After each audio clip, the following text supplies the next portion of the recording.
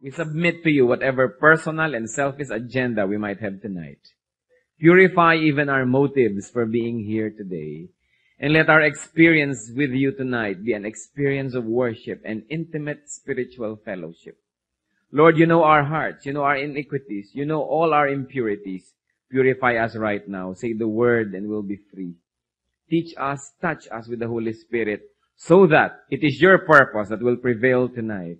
Your agenda, your will that will happen and not ours. We lift up our hearts to you, O Lord. Bless us through spiritual blessings come only from you. And in the name of Christ, we rebuke all spirit of darkness, all work of deceit, all work of the flesh, and all spirit of vexation. In the name of Christ, O Lord, we ask you, cover us with the blood of Christ. Protect us from the evil one, even from our own personal weaknesses, and accomplish your purpose for grouping us together tonight. Your will, O Lord, not ours. Your message, not mine and let your will be done all throughout. We lift up our hearts to you. Speak to us. Let your Holy Spirit descend upon us in full glory and power that can come only from you. And may you change us so that we will not only attend a worship service, but we would have truly worshiped. Father, we believe that you answer our prayer and we're confident of this because we ask in the will and in the name of Jesus, your Son, our Lord, our Savior, our friend and teacher. Amen. Amen. How should Christians live? I do not think that we will cover a new area today, but we're going to review a very basic area that some of us tend to forget as the years pass. As we grow maturely in the Lord, there are some basic things that have to be remembered once more. And today we're going to discuss four ways to live. First of all, of course, live in Christ. We have to live in Christ. 2 Corinthians 5:17 says, Therefore, if anyone is in Christ, he is a new creation. The old is gone, the new has come. What does it mean to live in Christ? Recently, we have been doing some cleaning up in our neighborhood and uh, we went down near a cliff. You know, our house is by a cliff. And in this cliff clings a lot of mga ipil-ipil trees and vines. And when I got down there, I realized that these trees were living on just very, very little crevices. Actually, barely clinging to the hillside because it's all made of rock. And that's all that they've been living in. Maybe they could have gotten to become greater trees had they been planted in a rich soil, in a soft soil. But they are just there clinging. And whenever there's a typhoon, they precariously cling and dangerously hold on. And many Christians live like this. We precariously cling. Hindi talaga rooted. But for us to have a victorious and a productive and a joyful and a meaningful Christian life, we must be rooted in Christ. Live in Christ. John 14:6 says, I am the life. Jesus ang buhay. So unless we are rooted into Christ, nothing will happen. And uh, Psalm says, He who lives in the will of the Lord is like a tree planted by streams of water. It's important to be rooted in Christ. To be connected to Christ. John 15:5, I am the vine, you are the branches. And verse 4 says, Remain in me and I will remain in you. No branch can bear fruit by itself. It must remain in the vine. So Christian, we first have to live in Christ that Christ is the source of our strength. Not our personal wealth, not our personal intelligence, not our personal circumstance, but we are strong because of Christ, not because of anything else. That Christ is the source of our joy. That we are joyful not because we have what we want, not because what we like happens, but because Christ is in us. That we have peace not because everything is going on well with your business or with your work.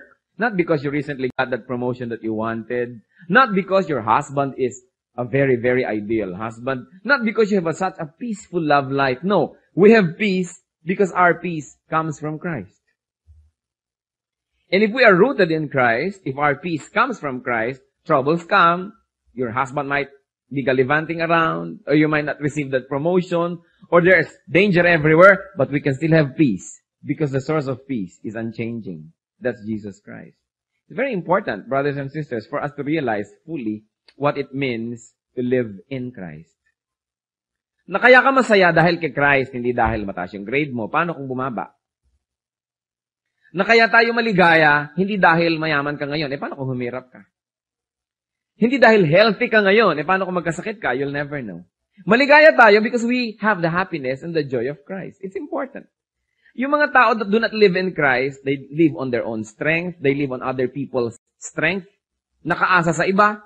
Pag nandiyan yung tao na mahal, masaya. Pag wala, malungkot.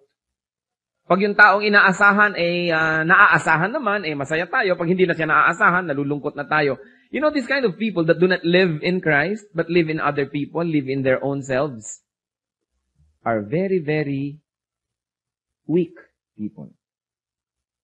Parang leaf, a dry leaf that is being blown and tossed by the wind to and fro because not anchored on the rock. Christian, you should live in Christ.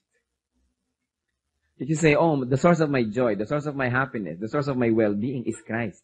And if that is the case, your well-being will be permanent because Christ is permanent. Christ never leaves, Christ never forsakes, and Christ never double crosses. Mahirap pag taong inasahan mo kahit sino pa yon. Kasi either bibiguin nila tayo intentionally or hanggang doon na lang yung best nila. Hindi na rin nila tayo kaya masatisfy. Number two. So, we will be wanting. Pag inaasahan lang natin career, inaasahan lang natin turn of events, these are very, very uh, unreliable premises. So you say, do we live in Christ? You say, oh, many people turn against me, but Christ still with me. I'm still happy. Can we say this? Live in Christ. Then, number two, live with Christ. 1 Thessalonians 4.17 talks about the future that says, we will be with the Lord forever. But did you know that when you accepted Jesus as Savior and Lord, you were already with the Lord? That our eternal life, our eternal partnership actually began? Yung church, pagka pinapakita sa Revelations, is a bride na papakasalan ni Christ. So yes, we are the bride of Christ. Sabi nyo, hindi pa nagkakasalan, but we're already betrothed. We're already answered for. May engagement rin. Nandun na. The fellowship has actually begun. But Christian, do you live with Christ? Let Christ be your companion and partner and friend. Everybody else is secondary. Si Christ dapat yung best friend. Kung minsan, you, you hear, itong best friend ko, so take a correction. Dapat yata ang best friend natin si Christ. Ito yung apple of my eye. Parang ito yung number one in my life. Number one. Si Christ dapat yung number one. Make your life conducive to His presence. Remember, we live in Christ and then we live with Christ. Kapag meron kayong kasama sa bahay, isinasaalang-alang ninyo ang kanyang damdamin. Di ba? Kung meron kayong matandang kasama sa bahay, may mga maingay, pinapatahimik natin dahil may matanda sa bahay. Kung merong may sakit sa bahay, everybody should be careful and not be noisy so as not to unnecessarily disturb at na anak resting sick person. Kung meron kayong roommate, kung naranasan nyo na magka-roommate, kapatid, o dorm, meron kang roommate, syempre sinasaalang-alang mo naman yung roommate mo. Hindi kahit kailan gusto mong kumanta, kahit tulog siya, kahit kailan mo gusto magbukas ng ilaw, pwede. Kasi may kasama ka eh. Nakikisama tayo. Because we live with other people. Mga anak, nakikisama sa mga magulang. Pag sinabi ng magulang, curfew! 7 o'clock.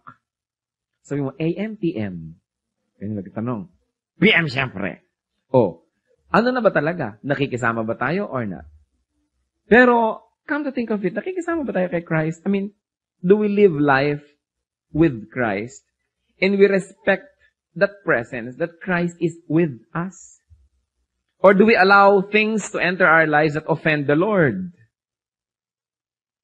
Nabubuhay ba tayo na isinasaalang-alang at laging inaalala, hindi kinakalimutan, teka, teka, may kasama ako sa buhay ko, ano magiging reaction niya? Kakantahin ko ba dapat yan o hindi? Isusuot ko ba dapat ito or not? Kakainin ko ba to or not? Iinumin ko ba to or not? Gagawin ko ba to or not? Sasabihin ko ba to or not? Teka, may kasama ako. Hindi ako nag-iisa eh. Because the Lord said, I will never leave you. In that case, the Lord is always with us. And if we're going to always realize this, you say, "Hey, teka muna, may kasama ako. Yung gagawin ko ba, makaka-offend sa kanya or not? Ma-unsettle ba siya or not? Live with Christ. Huwag natin kakalimutan yun that the Lord said, I will never leave you. I will never forsake you. Nandyan na siya. Kahit na i-ignore-ignore, nakakalikalimutan, nandyan na siya. Binabantayan tayo buong gabing natutulog tayo. And the least that we can do as an act of gratitude for the Lord guarding over us the whole night is pagising ng mata mo, pagbukas ng mata mo, prayer. Quiet time and meditation. Because the Lord likes to spend time with us. Binantayan ka buong gabi, pagising mo, wala, bali wala, tuloy parang wala. Binabantayan tayo every time. Inililigtas niya tayo sa maraming mga dangers. But do we have time to say, ah, ah, by the way, thank you. Do we have the time? Man lang. Or we go on living as ingrates, as if the Lord is not with us. That we continue to say things we should not be saying, do things we should not be doing, go to places we should not be going to, these kind of things. Remember, Christian, live with Christ and respect that presence of Christ in your life. Then third, live for Christ. Hebrews 13, 20 to 21. May the God of peace equip you with everything good for doing His will. May the God of peace equip you with everything good for what? For doing His will. Philippians 1.21, for me, to live is Christ, and to die is gain. And 2 Corinthians 5.15, and He died for all, that those who live should no longer live for themselves, but for Him who died for them and was raised again. Tayo spiritually dead. Because Christ died for us and took our place, nagkaroon tayong life. That life is no longer ours. We should live it for the one who died for us. There is a trade. The Lord gave us His death. We should give us our life. We should no longer live as if libre tayo. No, somebody paid for our lives. Somebody died for you and for me. That's why sabi sa Bible, you are not your own. You were bought at a price. Maraming mga Kristiyano kung mabuhay parang walang accountability eh. Para bang kanila yung kanila. Para yung katawan nila kanila. Para yung buhay nila kanila. Hindi yan atin. Binili na yan eh. Kumbaga nakasanla na tayo eh. Tinubos. So now, the least that we could do is to live for the one who died for us. Sabi mo, Lord, die for me and I live for you. That's the trade. Let your energy, your talent, your skill, your resources be dedicated to Christ and His cause.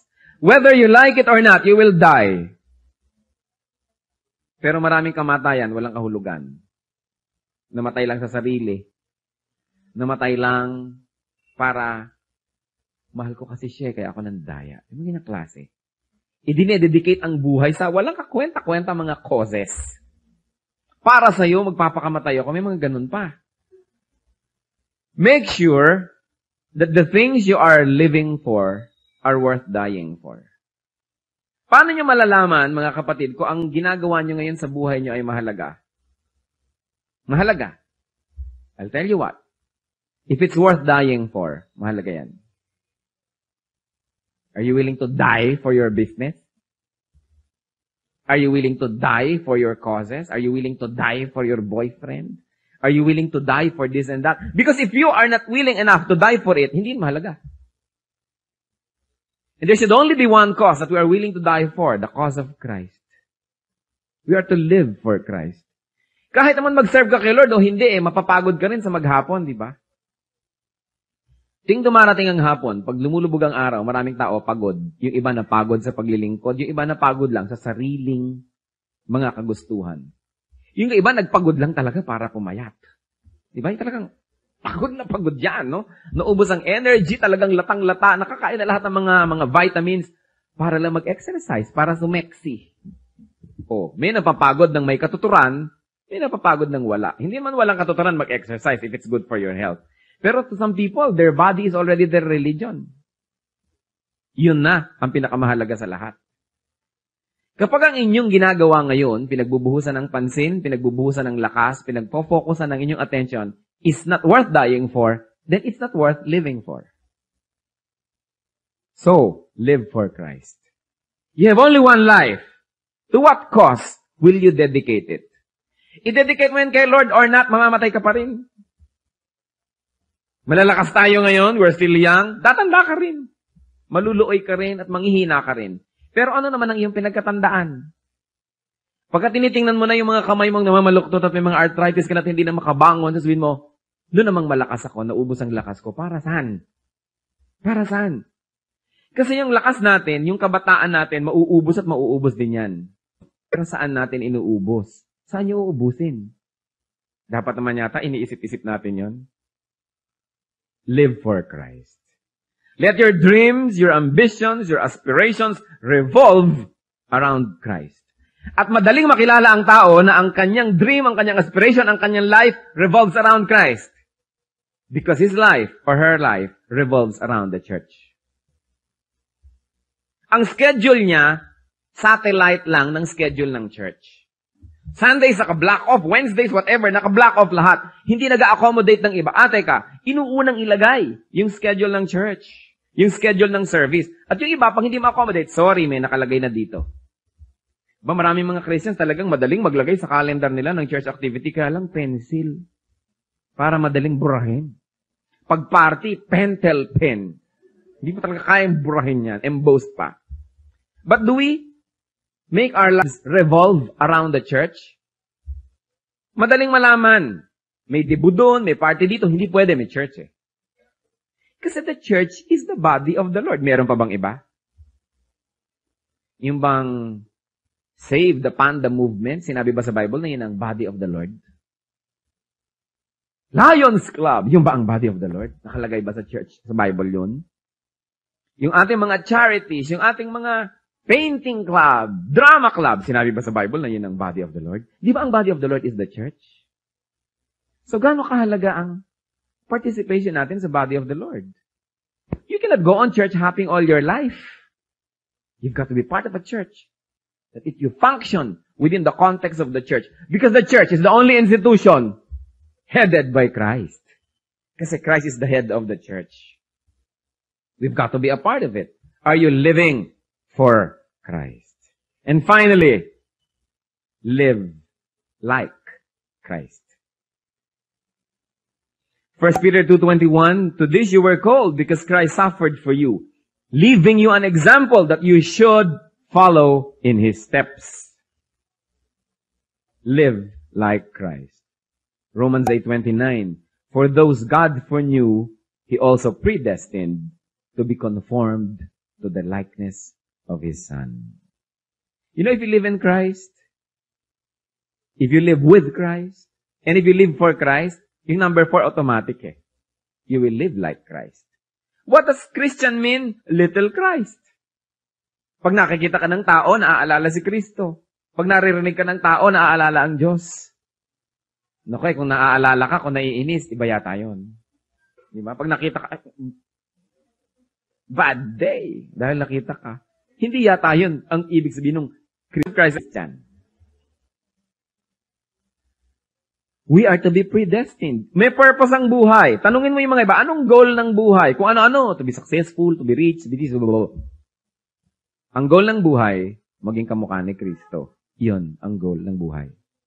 So, sino ang successful person? Yung nagiging kamukha ni Kristo and getting closer and closer to the image of Christ every day. Yun ang successful person.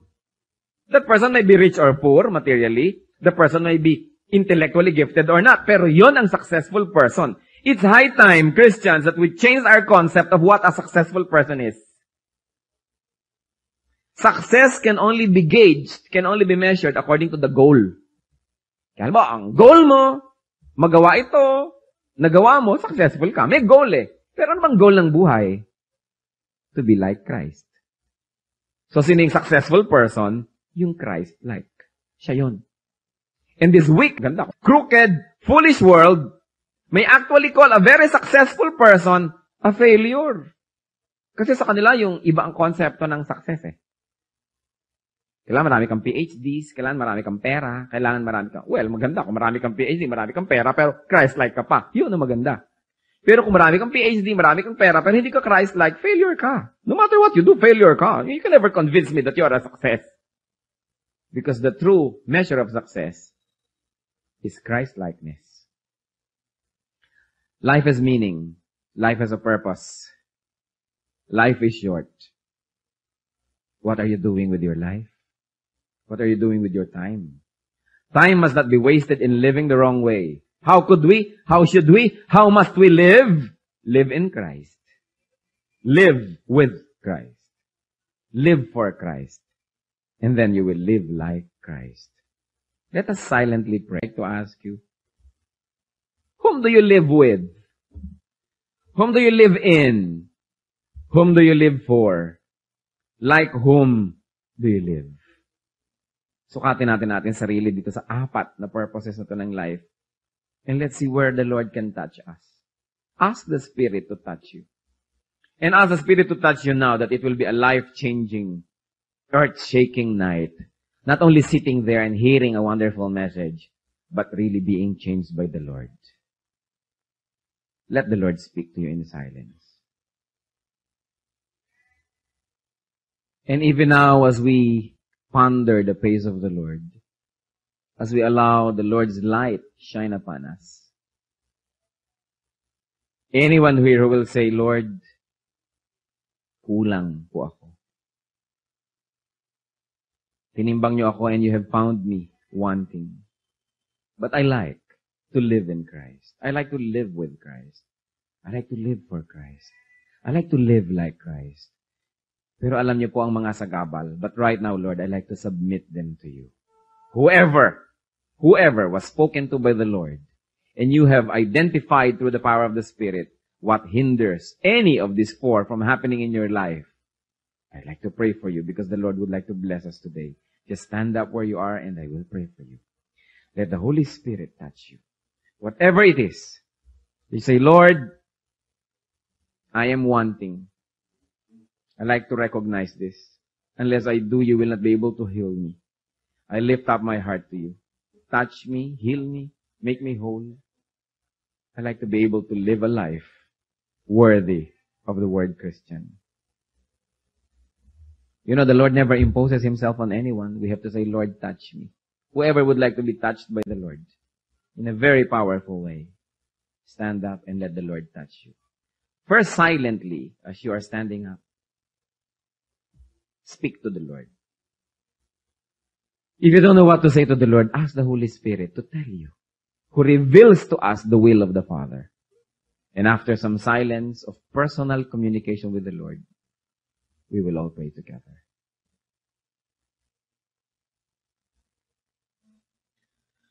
Heavenly Father, look at your children and may you have compassion as you always have. Thank you, Lord, that you never tire of restoring us, of healing us, of reaching out to us, of filling our needs and our emptinesses and our shortcomings. Take delight in these people who stand before you, O God. May you be delighted because you're always happy with a contrite heart. A heart that says, I'm broken. Lord, look into us and you will see brokenness. You will see imperfection. You will see even stubbornness. But right now, by your grace, and for Christ's sake, we offer this at your feet. All the things that hinder us from living a life worthy of Christ. You know what each one has to give up. And in standing up, oh Lord, we're giving this up. We're burning it in your altar. Let the smoke reach you in the heavens. And may you be glorified. And may you be pleased. And I ask you, Father, on behalf of these people, this holy assembly before you today, may your grace fall down from heaven and fill every heart that sincerely stands up to be counted. Open the windows of heaven. Let your light shine and beam down upon everyone. And let the power that comes only from your mighty love and your everlasting power heal our brokenness so we can live for you. So we can live with you. So we can live in you and we can live like you. It's impossible for us to do it, but by your power, it is possible. Touch us, O Lord. Continue to change us.